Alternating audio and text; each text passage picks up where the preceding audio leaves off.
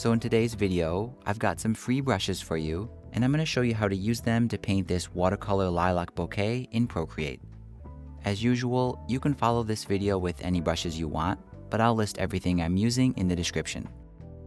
So I've already got a very rough sketch, and I'm going to start by painting the lilac flowers first. And the main difficulty with those is they have a sort of lumpy kind of structure to them that's hard to get in Procreate. So I made some free brushes you can download in the description as well, and they're going to really help you with that. They're just called the lilac brushes, and I'm going to start with the lilac abstract. And I'll choose a kind of light lilac color like this. And I'm going to start by going over each kind of bundle of flowers, maybe three times, just like this.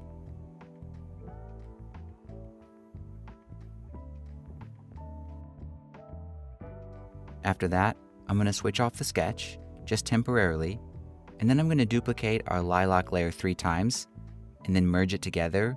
And the reason I did this is I want to remove all the transparency kind of effect that you saw, and I want this kind of structure to be super opaque. The next thing I want to do is add the texture of all the individual flowers. And since this is going to be like thousands of flowers, I made another brush that'll help you do this a little bit easier. So I'm to go back to the lilac brushes, and this time I'm going to use the lilac detailed brush. I'll choose a very lighter, uh, a very light version of this color. And if I paint it on, you can see I can paint it on the lilacs, but it's also going into the white area. I want to avoid that. When I paint, I just want it to be limited to this kind of structure here. So I'll undo that. I'll tap on my lilac layer and press alpha lock. And then you can see when I paint again, I'm limited to only being able to paint uh, on our kind of flower shape here. So I'm going to go through and add this texture to each flower. But the trick is I want one side of these kind of bundles of flowers to be light, then medium, and then dark on the other side. And when I'm painting on the light and the dark flowers, I'm just trying to imagine in this case that the light is coming from the upper left corner. There's no way to do this kind of perfectly, so I'm really just going by feeling. Next, I'm going to go to my adjustments, Gaussian blur, and I'm going to soften everything we've done so far. Now remember, we still have alpha lock switched on. That's why we're not going off into the white area. This, uh, this alpha lock thing still affects the Gaussian blur. And I want to blur it about like that. There we go. Then I'm to go over it again uh, using that same flower brush and just add kind of a slightly more subtle layer of flower details. So at this point, we've got the overall structure of the lilacs finished, and also the surface texture with all the tiny flowers. Pretty much the last thing we need to do is add some detail along the edge so it has some kind of small buds and flowers kind of poking out. So to do that, I'm going to switch off Alpha Lock, and I'm going to continue painting on this uh, lilac layer. I'm going to change my brush though to a pen brush, so I'm going to go back to the watercolor kit and use the fine liner pen. It's just an opaque brush like this, that has a slightly rough edge, and I think it's really suitable for drawing. So I'm going to use this brush, and I'll try to match the color kind of on the edge of the flower here, and I'm going to manually go all along this and draw all these little buds. Just make sure you periodically change the color so it matches with uh, what's going on locally.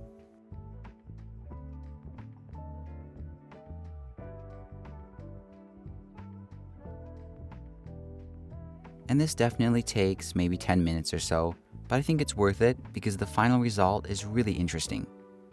And at this point, the lilacs are almost finished. I just need to refine the color and maybe add a little bit of blending. And I'll start with the color.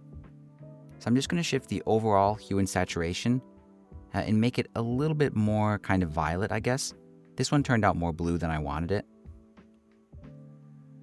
After that, I can grab the selection tool set to freehand, and I'll make a random selection that just goes all over like this. Then I'll reconnect it and feather it out quite a bit, maybe around 20%. I'll go back to my hue saturation and brightness and I'll shift it so I can kind of adjust the color of just those areas I selected. And I'll drop in a little bit of blue. There we go. And once the colors are fixed and I'm happy with how it looks, I recommend giving this a little bit of blending. And there's kind of an interesting trick for this. First, I'm going to turn the Alpha Lock back on then I'll grab the freehand selection tool again, and I'll make a kind of a random selection that focuses kind of in the middle area and then kind of goes out to the edges. so it's mostly covering this area in here. I'll feather it out as well. And before we adjusted the color of those areas, in this case, I'm going to go to Gaussian Blur, and I'm going to blur just those areas. And you can see this gives it a really interesting effect. And I think I want to do it a little bit more in these areas.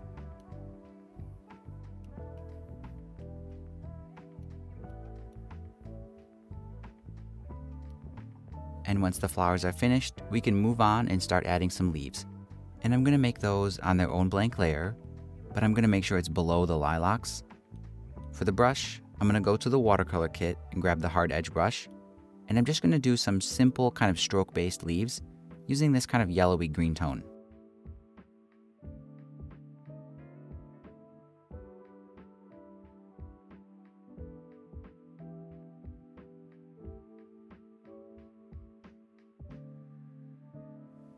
And once the lilacs and the leaves are finished, I'm going to move on and paint the paper wrapping. So for that, I'll make another blank layer, and I'm going to put it below everything. I'll turn my sketch back on, and just for now, I'll turn off my lilacs and my leaves. And the first thing I want to do is create a sort of background wash for the paper. So for that, I'm going to change my brush to the abstract round, and choose a nice kind of cardboard beige tone.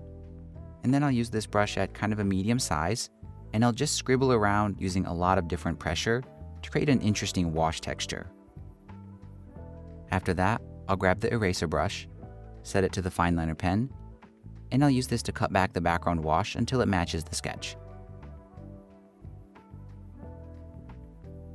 And with the shape roughed out like this, we can move on and do some shading, and I'm going to do all of it using the freehand selection tool. And the process is pretty simple, I'll select this area just as an example, hue, saturation, and brightness, and since this is a shadow area, I'm just going to darken it like this. Now I want there to be a little bit of contrast at the edge of the paper, so I'll make a selection that follows that. I'll reconnect it, and I'll darken it as well. And then I'll do another shadow along the edge that's finer. And since this thing is kind of curved, I want to do a highlight in the middle. So I'll make a selection that covers that area, hue, saturation, and brightness, and I'll just brighten it a little bit. And you could definitely blend and soften some of these shadows and highlights, but I'm to leave them hard because I like the sort of geometric effect that it gives this. And now for the last shadow, it's a little bit tricky. I want to make one that's being cast by the lilacs. So to do that, I'm going to turn off the sketch and I'll turn the flowers and the leaves on, but I'm going to make sure I still have the paper wrapping layer selected. I'll grab my freehand selection tool and I'll just sort of try to trace out just randomly where I think the shadow might fall. Then I'll reconnect it, and once again, I'll just darken it using the hue, saturation, and brightness. Now if you look in this area, the shadow and the flowers are sort of similar shades, they have similar values, so there's not a lot of contrast. So one way to resolve that is to just brighten the flowers in those areas.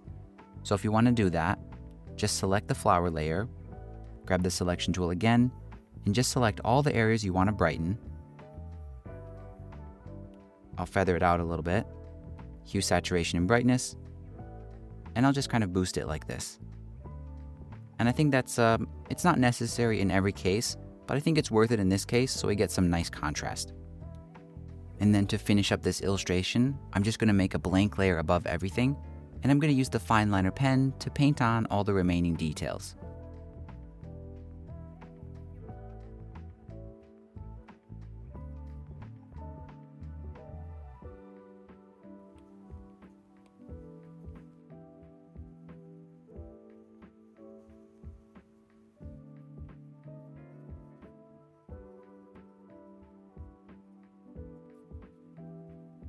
And just like that, this bouquet is finished. During the planning of this tutorial, I realized the hardest part about lilacs is that sort of original silhouette, and that's why I ended up making the free lilac brushes, and I'd really love your feedback on those and whether or not they worked for you. As always, if you think I've earned it, give this video a like, and here are two more flower tutorials I think you'll love to watch next.